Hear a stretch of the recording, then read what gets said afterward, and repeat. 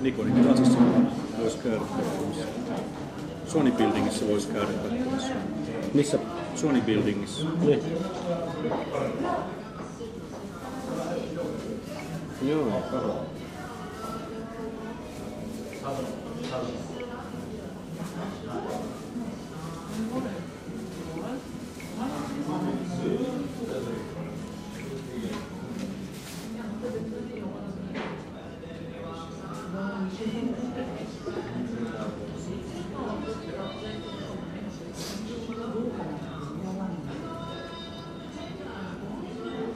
Pitää reagoida.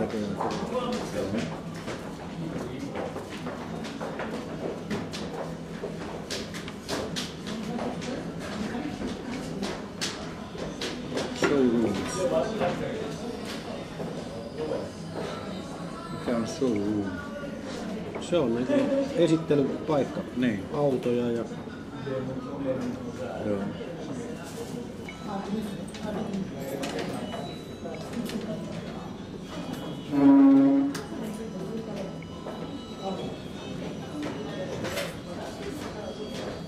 Shinjuku. Oliko tää nyt tää Shinjuku nyt tää myöskin tää Nightlife area vai? Siis se missä me ollaan. Niin, mihinkä hän siellä on, viittasi. joo, tätä, siis itse asiassa täällä on Kinsa. Kinsalla on täällä, on, tää on niinku huippupaikka. Niin. Kallivusaareen. Old Downtown.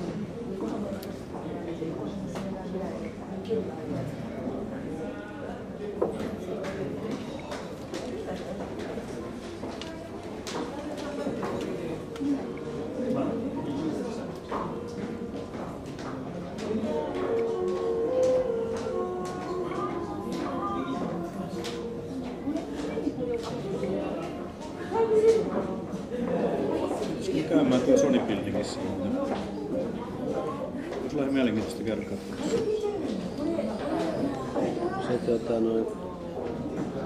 Joo, mä ajattelin, että nyt vois mä vois mennä vaikka tekee tuon kävelyn. Niin on ihan joo. Tehdään se kävely. Mut juu, Tuolla. Selitäs mikä toi palikka on. Tämä on Ubiquitous Marker Receiver, eli tota noin, kaikki nämä merkatut paikat, mitä on, tota noin, mistä on jotain lisäinfoa, niin tämä tunnistaa ne sitten. Tota ja sitten kommunikoi tämän laitteen kanssa ja lähettää informaation tonne. Eli tässä ei ole vielä tota noin, tavallaan tätä NFC-tä, vaan se on tässä, tota tässä. Mutta jatkossa tulevaisuudessa on myöskin tässä. Mikä on NFC? Near Field Communicator.